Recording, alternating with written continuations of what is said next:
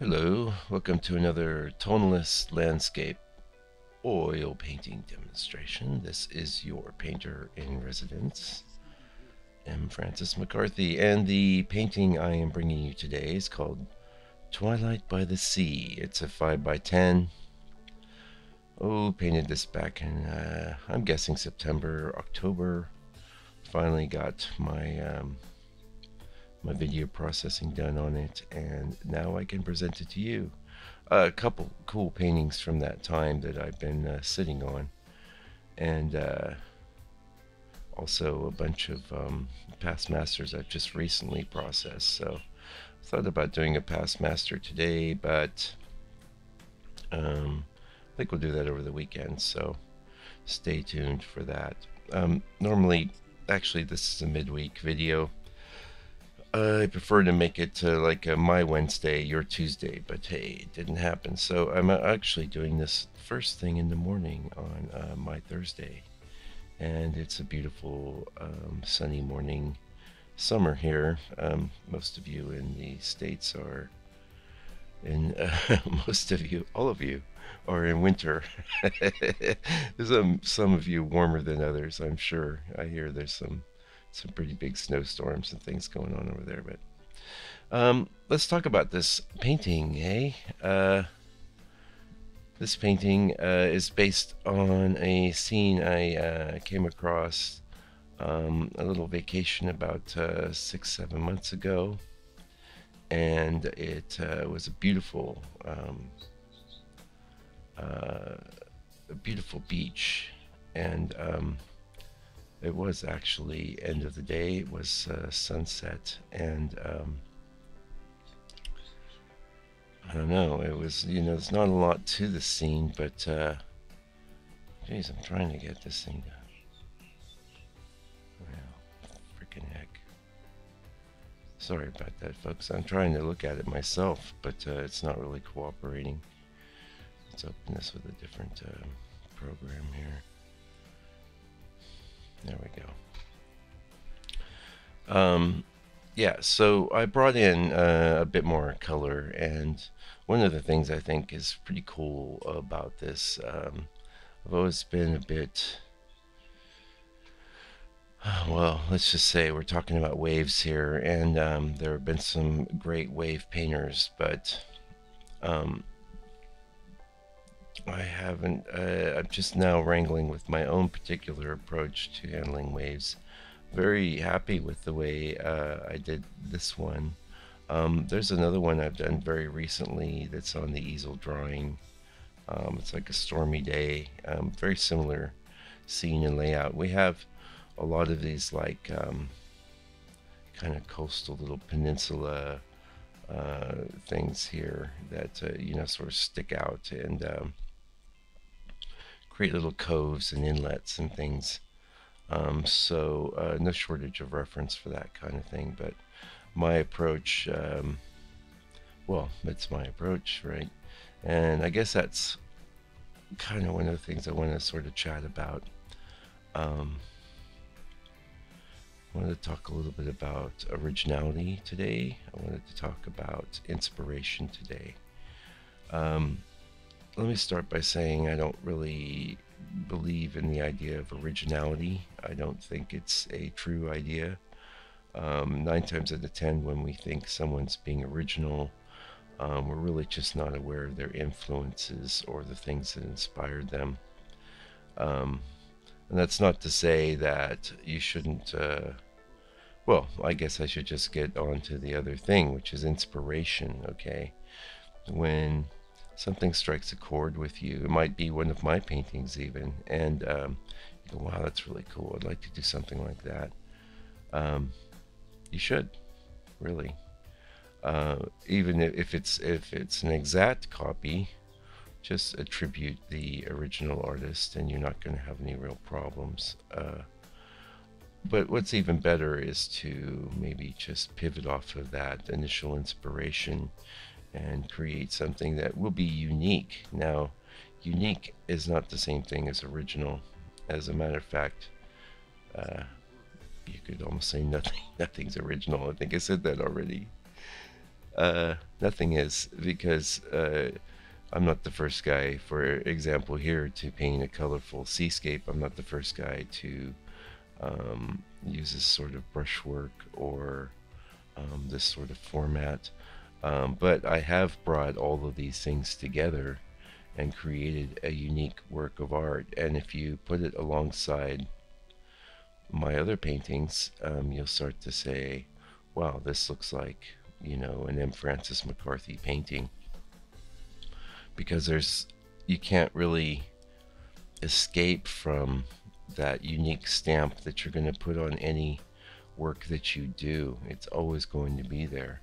Um, in my myself, I see it in my tree shapes. I could, um, well, I mean, I did would have done the painting, but if you were to put my painting in a, on a wall with a hundred other landscape painters and, and put me 50, 100 feet away, I would be able to pick up my tree shapes because I can't, I frankly can't escape them. I can't escape the way that I handle those shapes. And uh, to me, it's one of the parts of my pro, uh, painting process that always stands out. Um, the only way I know to escape it is to make direct copies after not even like these tonalist dudes. I have to go back to people like Claude Lorrain and stuff that did this very uh, stiff sort of um, uh, to do a relief kind of approach and uh, even there I, I can see um, I can see the hallmarks of my individual approach uh, standing out. So in the face of this uh, what do we do? You know are, are we concerned about this? Is this something that you should be concerned about? And I'm of the opinion that what you should really be concerned about is getting um, opening yourself up so that you, so that the paintings are actually coming through you from I don't know what do you want to call it you know I don't want to get religious or anything here but you could say God or you could say the universe or whatever but really all all art especially all good art comes from there um, ultimately and so opening yourself up to that is a process of getting in touch with inspiration. Um, and as I'm always stressing, very much um, uh, it's part of, um, of working all the time so that you have the skills and ability to communicate these um, you know when, when an inspiration strikes you know it comes and it goes very quickly it's almost never forceful. You know, that's only in movies, you know. Uh, for for most working artists, I think it's um, it's a lot quieter, and you need to be sensitized to it. You need to know how to feel it, and uh, and for me, uh, that uh, expression, that inspiration is uh, is you know um, 90% perspiration is incredibly accurate because you shouldn't worry so much about being inspired. What you should do is be sitting down to do some work, you know. And in the process, uh, you start with an initial inspiration, and it's like starting a fire from, uh, you know, a, a, tiny flame or whatever, you know. You've got to blow on it, you've got to protect it from the wind, um, you've got to uh, uh give it to dry things to to catch on, you know, and if you do all these things, you'll have a little fire, and as long as you keep feeding the fire, you know, you're going to have um, a nice, a nice blaze going, and uh, that's what you want. But um, you do have to, uh, you do have to bring it along, and it's, uh, you know, someone could say, I think it's a, I, I stumbled on a, a good analogy here.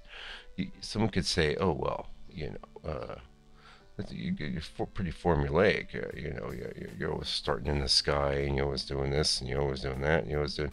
Well, the way to start a fire is also formulaic, isn't it? You know, like I said, you uh, you find something to create a spark, whether it's a magnifying glass or um, you know a piece of quartz or something uh, hitting a rock, and uh, um, you have something dry that can catch fire, and you have to protect it from the wind you know, but you also have to give it enough air and blow on it to, to have it catch, you know, and then you have to feed it things. And uh, that's a bit of a formula, really.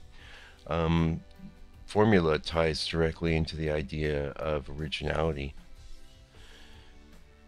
Uh, now, there's form having a formula, and then there's being formulaic. Uh, if you're formulaic, then you're oftentimes creating work divorced from inspiration. Um, you know, and you'll create highly repetitive work. There's someone who has, I know we're running out of time. I think I can get this out. Um, there's someone having a show at the uh, Corey Art Center where I work now. Um, is doing these very formulaic little uh, figurines that uh, that's all I'm going to say. But um, they're not good. they're almost good, but they're there's a ton of them, and they're all being done the same way. And uh, it wouldn't be so bad if they were actually good. but the the formula is, is the thing you see first, and the formula shouldn't be the thing you see first. The formula should maybe be apparent to uh, people that are um, sophisticated practitioners and uh, can spot these things. Um, but the formula shouldn't be apparent to the layperson at all. They should just be going, "Wow, that's awesome," you know. And uh, formulas should come, formulas should go. In fact, one of the best reasons to work a lot is that you'll have a lot of different ways of approaching things, and um, you'll be able to do a lot of different types of scenes, and you'll be able to uh, work in different formats, and uh, you have a dark style, a light style, what have you. You'll have something for whatever is coming your way that you want to do. Yeah. So that's a little bit for me on that topic. I know uh, I'm not conclusive. I'm certainly not an expert. Uh, well, I'm just another guy working. So that's my two cents. Um, anyway, if you have any comments or questions, you can leave them in the uh, comments area, or you can always drop me an email. My uh, my website flashes across the screen there. It's also underneath the video. Uh, I don't mind hearing from people. It's always nice. Um, I'll be back this weekend. I got a past master for you. I think it's going to be a Millet.